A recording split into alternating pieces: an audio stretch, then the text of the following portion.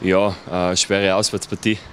Sie sind sicher gut drauf und äh, wir haben aber Selbstvertrauen mitgenommen aus den aus die letzten Spielen, dass wir sicher unten auch was holen können.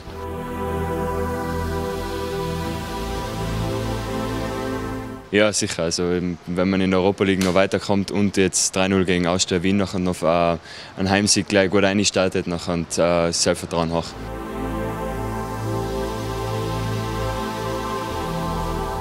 Ja, dass wir alle zusammenhalten. Also wir haben einen guten, wir haben einen guten Zusammenhalt und jeder geht äh, seine, seine Rolle geht jeder in der, in der Mannschaft ein und, und ja, das macht uns sehr, sehr gut.